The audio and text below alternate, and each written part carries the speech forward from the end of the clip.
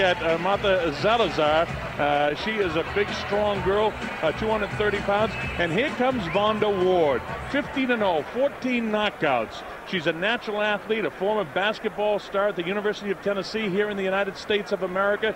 She was the 1995 Player of the Year, uh, a professional basketball player in Germany, and then played in Denver in the Professional Women's League in the United States in 96 and 97. And since then, she's been a fighter. She has tremendous power because of her size. She's very aggressive, and she's only been knocked out twice in her career. Neither time in the boxing ring, it was scrambling for basketball on the floor when she banged her head and actually knocked herself out. So that'll give you some idea about the aggressiveness. Look at the body in this woman. She's in tremendous physical condition. She's a tremendous physical specimen. Johnny McClain, the husband of Laila Ali, called her out the other day at the weigh-in, screaming and yelling, "Hey, you want to fight? Why don't you fight somebody that can fight like Laila? Well, of course, Don King, who is uh, behind Vonda Ward, would love to have Vonda fight Laila Ali, and there would probably be hundreds of thousands of dollars involved for that fight. So that's what we have for you.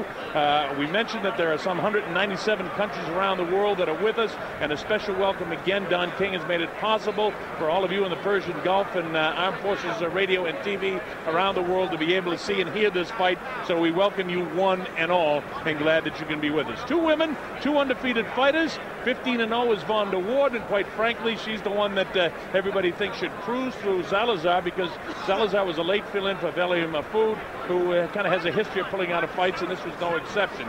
Jimmy Lennon Jr. is standing by, and while the American network in the United States gets ready, as soon as they're set, we will have our first fight of the evening underway for you. And again, this should be a tremendous night of action. We get a chance to look at the ladies to get the seats warmed up here as they continue to filter in at the beautiful Thomas and Mack Center here in Las Vegas, Nevada, the site of uh, University of uh, Nevada, Las Vegas basketball for many, many years. And now here's Jimmy Lennon Jr.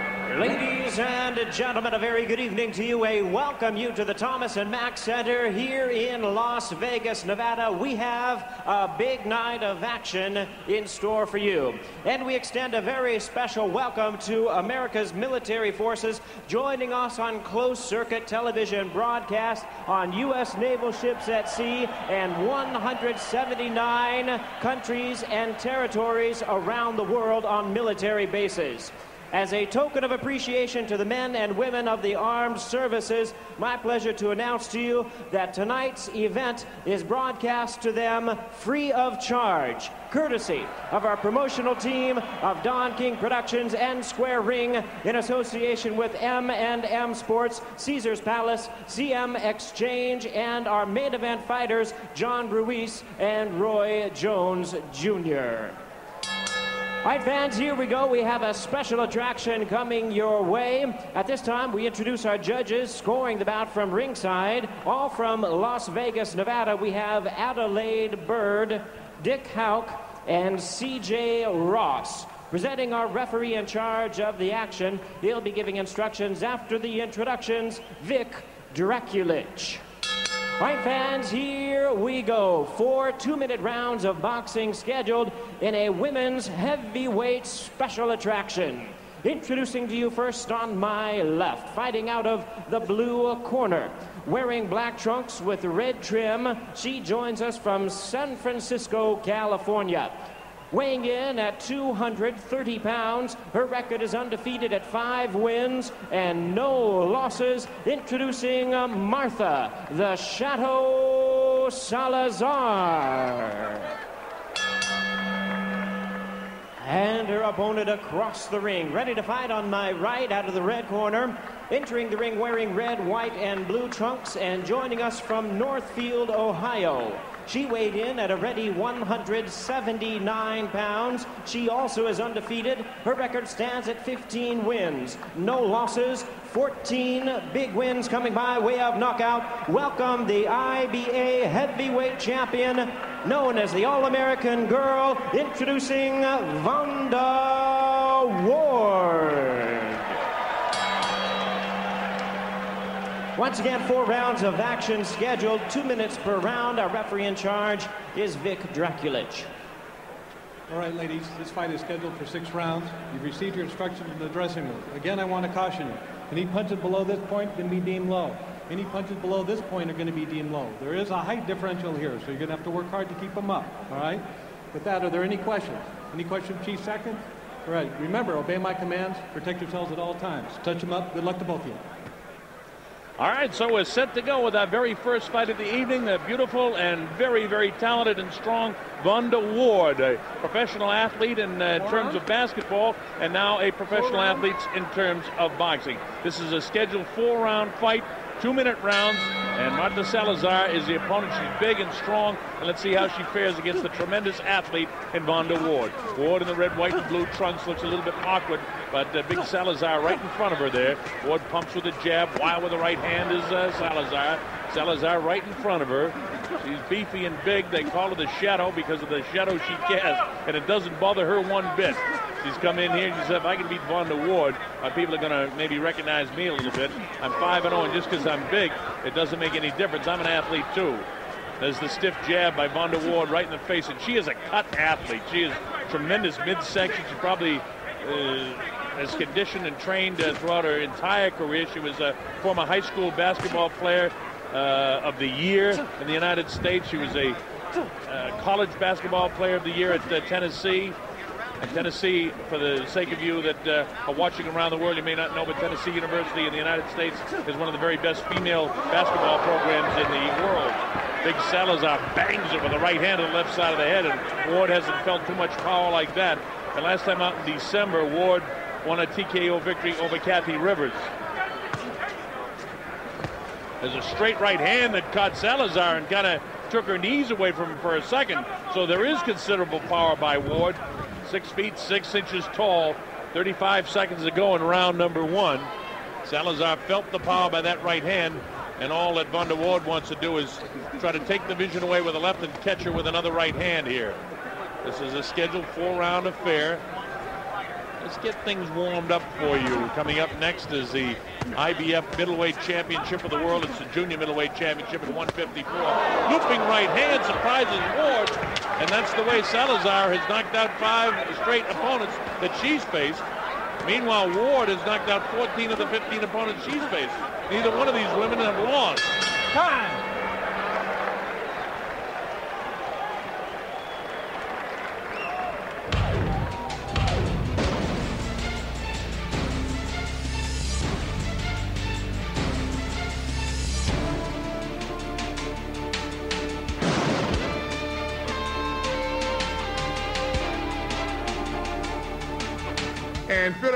Is going to be a fighting city on March the 29th.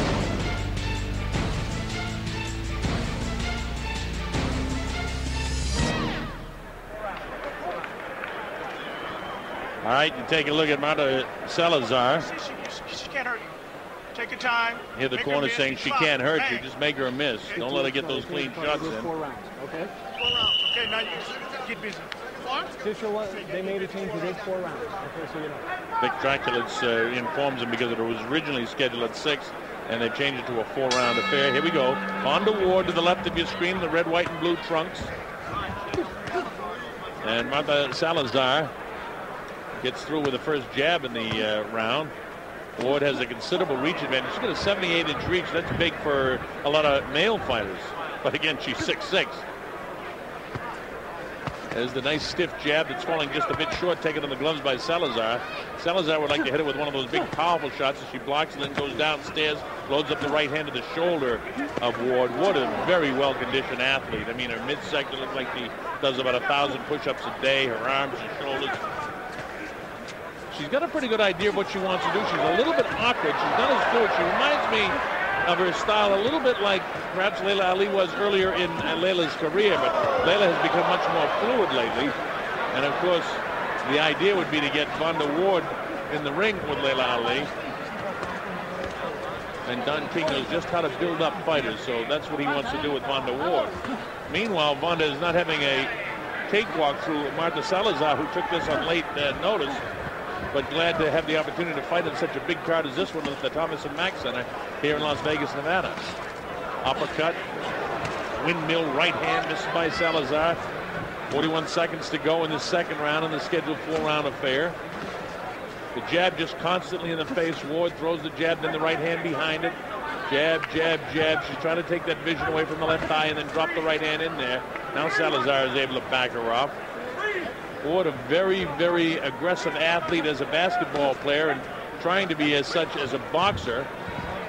In basketball, you don't have people hitting you back, although she was knocked down twice, as I told you, diving for basketball. Wow, winging shots. And now Salazar touches her up, and the crowd likes what they see. Closing seconds now of the second round. And while Salazar was able to land a couple of power shots, Ward did all the work and landed most of them. And she's won that round 10-9 on my scorecard. And the judges, by the way, Adelaide Byrd, Dick Houck, and C.J. Ross. Uh, one of the few punches landed in the round was a left hand by Salazar. Watch this. Boom. Punches her right on the nose, and then the right hand looping the right hand behind it. And then at the end of the round, you see she holds her off again. But that, in fact, is about all Salazar did in the entire round. The rest of the time, it was Vonda Ward just keeping that jab pumping in the face and looking for the opportunity to land the right hand. You hear me? You know, don't load up. She's, you know, just use your jab. Okay, counter her overhand right. She's giving that overhand right. She get close to us, step in, boom, boom, okay? Seconds down. 230 pounds is Salazar, so she's huffing and puffing. She's had to work very hard. And that mouthpiece in upside down, they got it switched around in a hurry. Here we go, round number three in the scheduled four-rounder. Neither fighter has been visibly shaken. Nobody's marked yet. Ward has been relying on the jab in the early going, and then she'll throw the right hand behind it. And Salazar, they told her in a corner not to load up, but that's really all she can do because she's giving away about 11 inches in reach. I mean, this girl's got a long, long reach, and she's having a hard time getting through her shots. And Ward now wants to pick up the pace, trying to throw shots from all kinds of places. And Salazar shows that she can duck away from a few shots too. Salazar, the big girl in the uh, fully black trunks with the red trim and in the red, white, and blue is Vonda Ward, who, by the way, is the IBA heavyweight champion. And we've got to give Marta Salazar a little bit of credit here because she was a late fill-in. As a matter of fact, just yesterday uh, when uh, Valerie Mahfood uh, pulled out of the fight. She get over here from San Francisco, made the way in and able to fight tonight. But she's not getting things going her way too much because Ward is just really doing a nice job with the jab. Who's ever coaching her, namely Lorenzo Scott and Stacy Rhea, have done a nice job with her teaching her to throw the jab. As I say that, a sneaky left hand gets through. And Salazar, when she lands the left, it's a punishing left because the nose and the cheekbones are very, very red and uh, almost swollen a bit uh, from the nice stiff jabs that Salazar has got through. As Ward trying to load up his shot, he gets a nice uppercut through. And Salazar doesn't want to give ground. She's right up against the rope. She doesn't slide. Instead, she loads up the right hand. Inside of 12 seconds to go in the round. And now Ward begins to score some punches again. Salazar battles back and nails her, puts her back at the heels, and all of a sudden, at the bell, Ward was ready to go. How about that? She's wobbly coming to a stool with blood coming from her nose. Told you. Now listen. That's you can't do that in there. Here it is in the middle of the round where everything is going the Ward's way. Landing shots, a little chopping shot there. She backs Salazar off into the corner, lands the uppercuts. She's doing everything. And then all of a sudden, Salazar nailed her at the end of the round. And watch this, boom, right there. Bangs her good that time. And she had her wobbles. Now let's see if Salazar will get very aggressive here and chase her down and see if he can catch up with Ward. By the way, she didn't do enough in that round to steal the round, I don't think. I think the judges will give that round to Ward as well. But let's see what happens. Salazar has a little boost of confidence now. Fourth and final round of the fight. And you see the eyes are very puffy of uh, Vonda Ward, who has felt the power of Marta Salazar. And Salazar just wants to get her in. She likes to fight back in the ropes. There's that looping right hand again that got through. There's a noticeable amount of confidence now by Salazar, who's just a real tough cookie. Nothing fancy about her. She clips her again with that left hand. And now you can see the adrenaline flow and the aggressiveness of the athlete in Vonda Ward. She didn't like the fact that she was hitting me. Yes, These ladies are letting it fly. Nothing that will go in the annals of a great Marquess of Queensberry uh, tilt, but I'll tell you, it's interesting, and they are working some kind of hard for you. Marta Salazar trying to get one big shot on the chin of Ward. Ward continues to pump, comes to the uppercut, continues to throw shots. The right hand gets through, and now she pushes her up against the ropes. Vic Dracula tries to separate them. They're both bleeding from the mouth. Ward gets nailed with a left hand and a right hand. She's bleeding from the nostrils, and there's a lot of time in women's boxing. There's uh, 47 seconds to go. Salazar a bit gassed as she's bleeding from the mouth and the nose. Vonda Ward is bleeding from the nose. Loads up the right hand and it sails past the left shoulder. Both girls are fatigued now. But Salazar is very, very strong. She walks away trying to draw. Vonda Ward towards her. She plants her feet, throws. She's really gassed, and Ward just stays right on top of her. That's the competitiveness that's in her. Very aggressive young lady. Salazar wants to get one final big shot in there, but she's running out of time.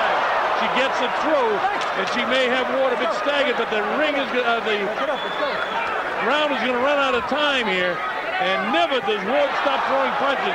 She's all over Salazar, and there's the bell, ending the fight, and entertaining to say the least.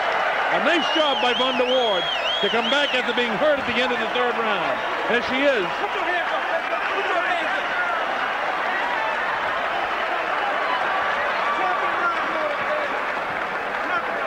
Look at this from the middle of the round, and Ward is just all over. And you see Salazar try to get that sneaky right hand through there.